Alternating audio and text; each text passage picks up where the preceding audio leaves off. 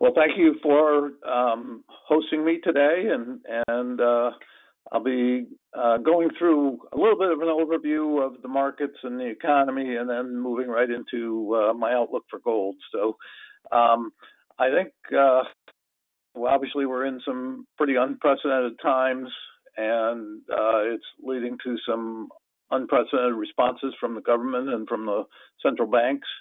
Uh, and you know that has long-term implications for both the market and and for uh, the metals.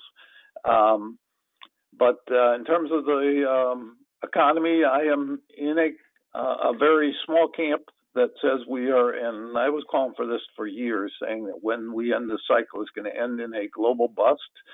So I use the term bust to uh, describe something that's bigger than a recession, steeper and uh, worse than a recession, but not as elongated as a depression. So I think over the course of the next year, we'll be deep in that. I, I think we are in the bust now, what I call uh, the beginnings of a global deflationary bust that I think will, uh, following a couple quarters of rebound, uh, go into a second phase of the bust that I think will be steeper and deeper than the first phase. So um, you know, probably late this year or early next, we'll, um, you know, we'll end this uh, bounce and start heading the other way again. And I think the second phase, you have much more insolvency issues and um, you know the problem we can talk talk about the next two quarters as recovery quarters, but it will be very uneven and not um, supportive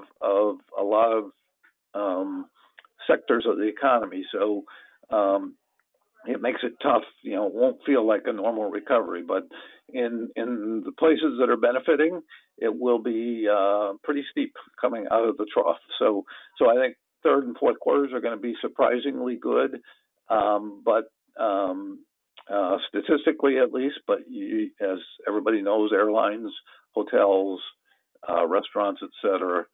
are are still going to be in really rough shape. Um, so uh, that's my economic outlook uh, for the next year. Uh, beyond that, I do think that the response from the central banks will be massive. We've already seen, uh, you know, historically massive response, um, but uh, an even bigger one will come in the second phase because they'll have to do it, uh, and this will be global, not just the Fed, um, and that will that will lead to a very strong um, industrial recovery from 2022 out to probably the latter part of this decade. Um, it will be the first industrial led recovery that we've seen since the 1970s. Uh, for a lot of people, I was around then, but for a lot of people, they've never seen uh, either an inflation cycle or an industrial led cycle. It's all been consumer and disinflation since 1982. So, so we're looking at something that will be very different. Um, it will be spurred on by a lot of uh, monetary and fiscal spending and reshoring of capacity from China, et cetera. But um, it will be robust and it will lead to a, I think, a very sharp inflation cycle. It'll start gradually and then move from there. Um, and just to transition over to the markets, I think we're in the latter stages of a 38 year secular bull market that began in 1982, was driven by disinflation. You know, inflation came down from uh, 20% down to zero, and ultimately next year, I think we'll see uh, negative inflation, maybe fairly uh, deep negative inflation of three, four, five percent. Um, so um, and then and then the inflation will follow that with a lag of another year or more. Um, so um, that's uh, you know a secular bull market that be, you know that is coming to an end.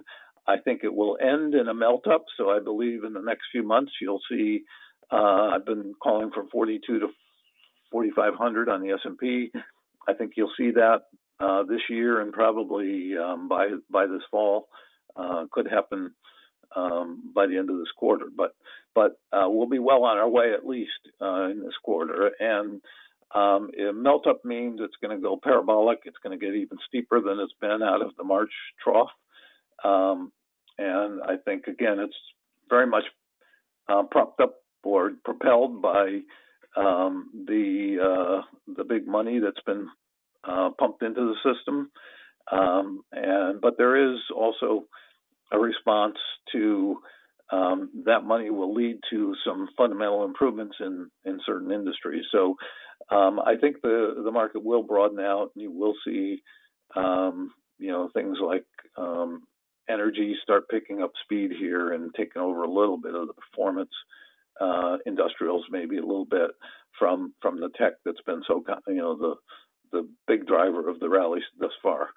Um, gold and the miners, um, I think, uh, do do uh, very well in this move into the top, and then where I think the um, stock market will probably not see the highs we we make this year again for at least a decade, maybe two.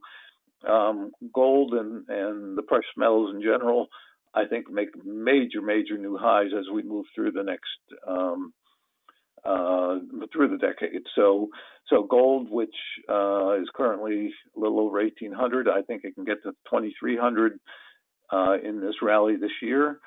Um, and then I think it gets hit like most assets in the bust. But whereas I think the stock market can drop as much as 80% in the second phase of the bust in a in a very steep bear market, um, I'm guessing that uh, gold probably uh, and the miners probably don't correct much more than 30, 35 percent, and gold itself less than that. So, uh, and then I, I believe we'll see ten thousand dollar gold, probably higher than that even, uh, by the end of this decade. Um, and by the way, silver pretty much same path. I think silver can get to 35 this year. Um, you know, a correction to that might take it back to the mid 20s in the bust. Um, and then I think uh, we'll see silver north of $300 this decade. So, so there's a big runway still ahead for gold and silver. Um, it's interesting. You had, you know, gold and silver both peak out. Uh, gold in 2011, silver I can't remember exactly when it was uh, near there. Um, and then uh, you went through a long consolidation. First, a very steep sell-off, and then for the last um, several years, a kind of a long, um, drawn out consolidation. And we came out of that. We bottomed uh, in 2015 at um, 1050. So you were at 1900 on gold back in 2011 at the peak and bottomed out at 1050 in late 2015.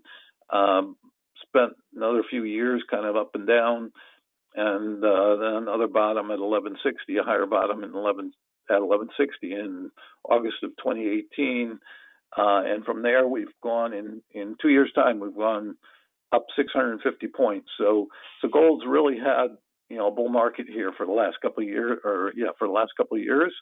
Um, and I think that just uh, continues here as it starts breaking above some some important resistance at the old highs, uh, you know, the 1900 area. Um, so there's, I think, a lot of excitement ahead for the metals, um, and it's been a long, long period of of uh, testing people's patience. You know, there were good periods in there where if you were a trader, you made some money, but for investors and for a lot of gold bugs who thought this would happen way before this, uh, it's been a frustrating period where a lot of them uh, threw in the towel and haven't been back. I think you're beginning to see all that change now. Uh, gold's getting more sponsorship, and uh, as as is silver, and I think that's uh, that's what we're going to see here for the next several months. Um, so that's kind of my uh, outlook for gold in a nutshell. By the way, my inflation call for the inflation cycle is that we'll start from obviously negative uh, inflation in the next year, and uh, at the end of the decade, we'll have retraced the entire um, drop in from the 20% level back in 1980. Uh, we'll retrace that entire amount and be back there again by the end of the decade. So it'll be a hell of a ride if that's correct. Uh, but you can see why um, the metals might might get some real sponsorship in that kind of environment. Uh, so thank you for having me and and um, uh, happy investing.